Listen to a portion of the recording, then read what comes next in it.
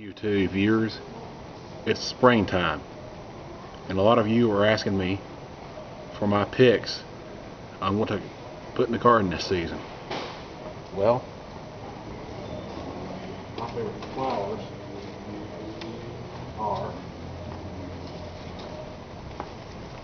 mangold and the sunflower. Those are the two best flowers you can put in your garden. Now, as far as produce,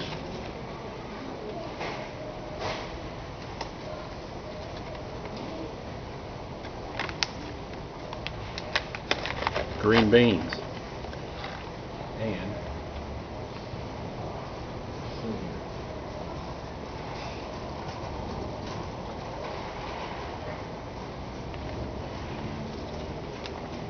carrots. This is Kige Ramsey for YouTube Gardening.